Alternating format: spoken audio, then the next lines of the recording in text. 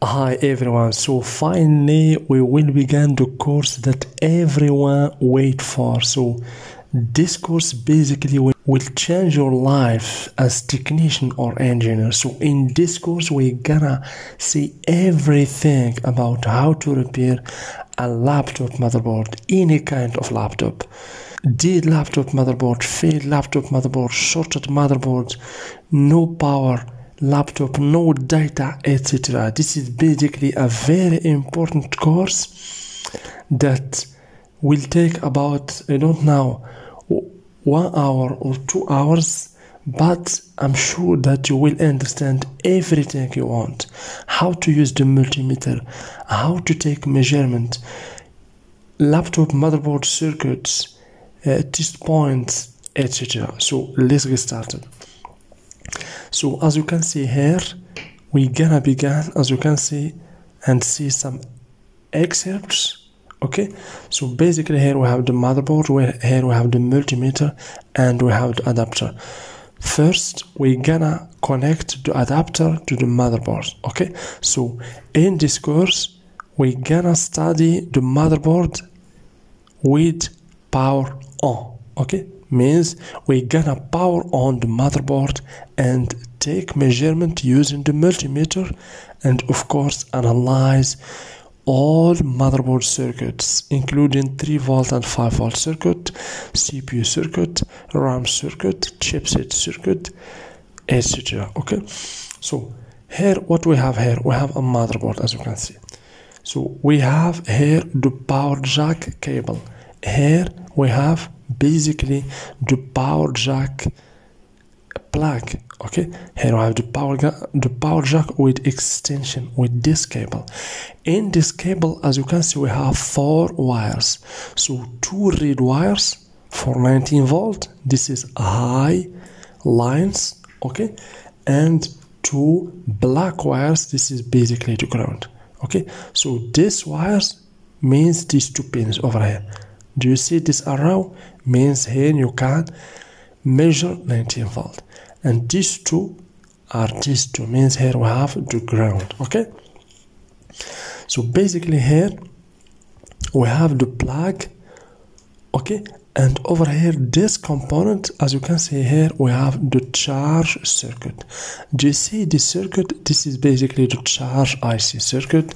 Here we have inductor we have MOSFETs or switches as we have seen in previous videos these two switches basically they will take 19 volt and deliver 19 volts. Okay we gonna see all this.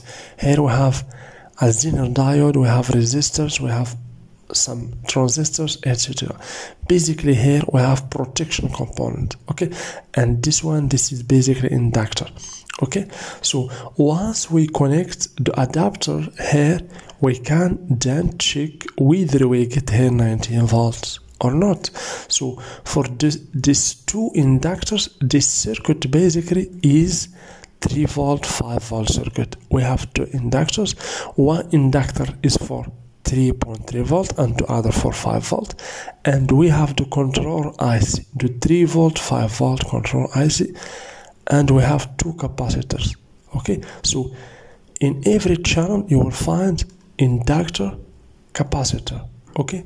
And here we have test point or the path inductor capacitor test point. And of course some capacitors okay?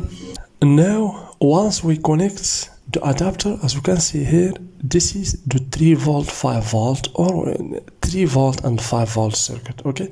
So of course we can go directly at check 19 volt and track the voltage over here but I will give you a trick that you can use to gain time and don't waste time while troubleshooting any motherboard.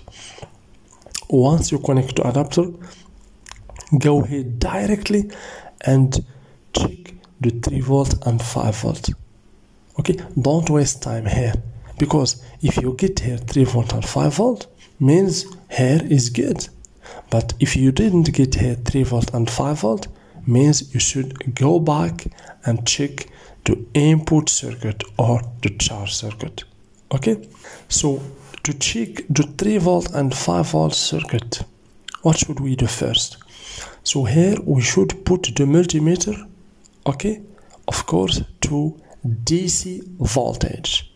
So because the adapter deliver 19 volt to the motherboard then we should put the multimeter to 20 volt. The higher voltage that the voltage that the adapter deliver to the motherboard okay?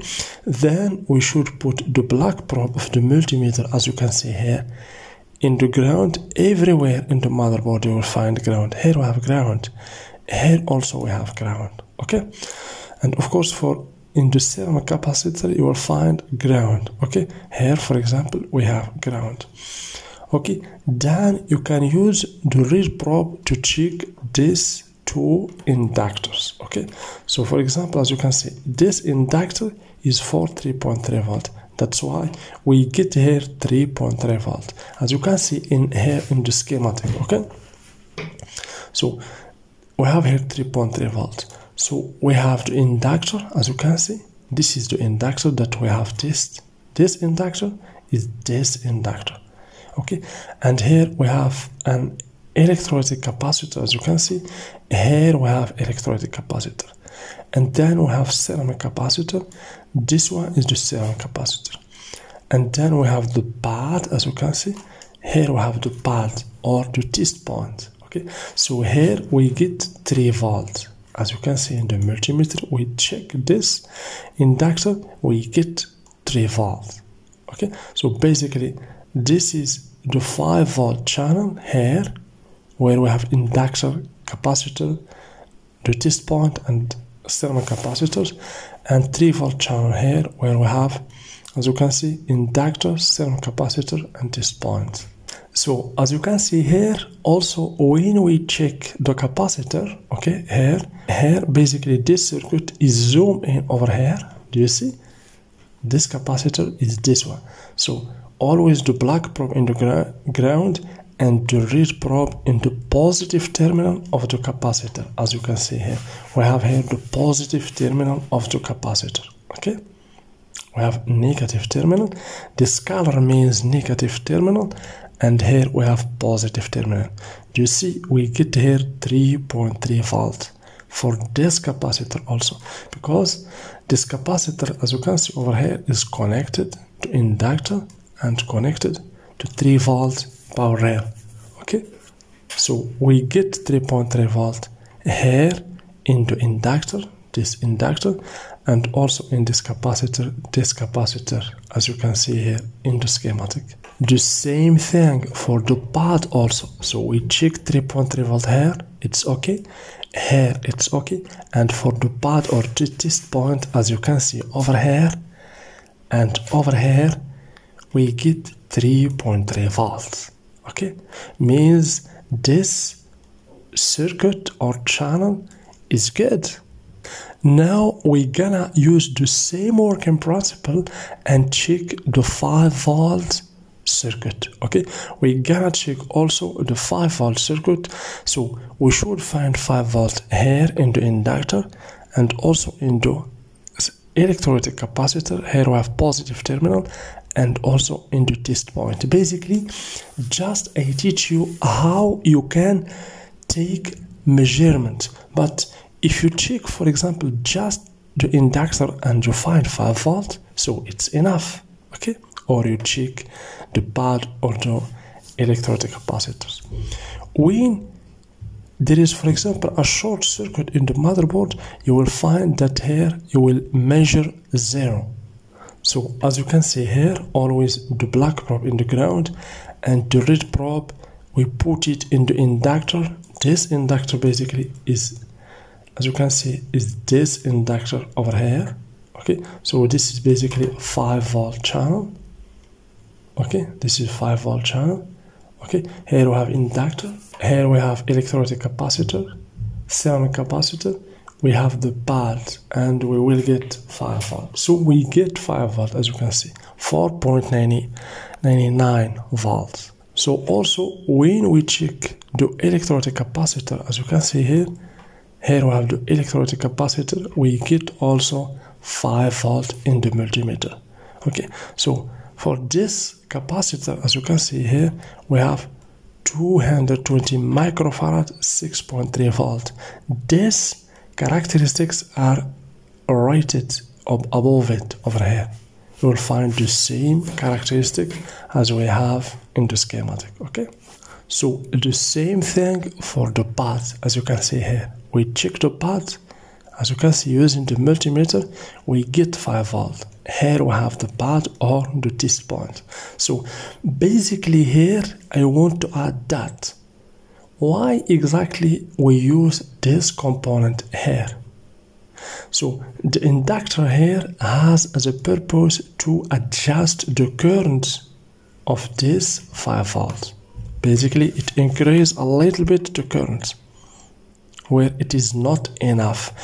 Here those capacitors are here to filter the current. Basically this one it filters the current in order to get a pure current and this one is it eliminate the noise in the circuit. And of course we have here the part where we can check whether we get 5 volt or not. So now we can see that this circuit the 3 volt and 5 volt circuit are okay. Why? Because we find that all voltages means 3.3 volt volt 3.3 volt and 5 volt are good okay? So why? So it's not important to check the input circuit. You should go directly and check 3 volt and 5 volt. When you find once again 3 volt and 5 volt are okay means automatically here have to be okay. But if we find for example these two voltages are missing then we should go back and check the, the input circuit. Because when this one is good of course this one should be good. And when this one is not good this one have obviously a problem. And of course if there is a problem here we cannot get here 3 volt and 5 volt. So this is the input circuit or the charge circuit where we have the charge IC as you can see and this is 3 volt 5 volt circuit where we have the 3 volt 5 volt integrated circuit with two channels okay? So that's it guys for this video. We're gonna continue with part two and we're gonna go step by step until we study the whole motherboard and the whole circuit in the motherboard using of course the schematic the multimeter and using my experience and analyzing everything in the motherboard. Thank you very much and please don't forget to like the video subscribe and share the video with people that interested like you. And of course for anyone who want to join me in my patreon page you are very welcome. Thank you very much and see you tomorrow with the next video